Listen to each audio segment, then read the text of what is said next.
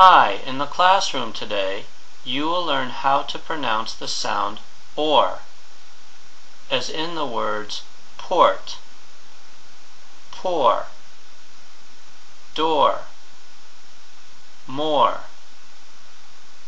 This sound can be spelled with OR, OUR, OAR, AR, OOR, O-R-E. The following diagram shows the most important parts of your head and mouth used for pronouncing the sounds of English.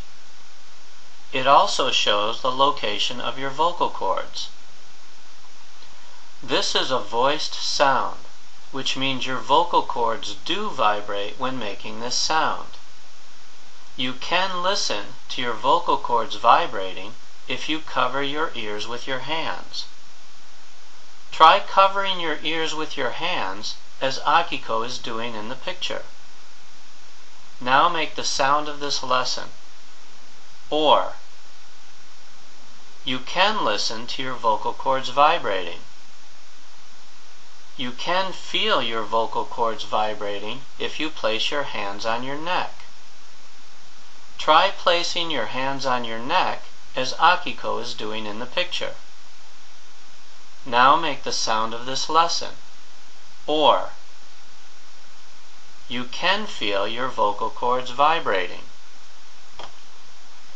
To pronounce this sound correctly, your mouth, lips, and tongue need to be in their proper positions.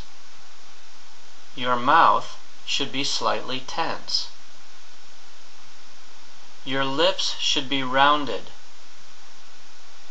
the middle part of your tongue should be in the center part of your mouth.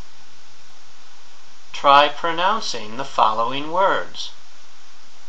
Port, pour, door, more.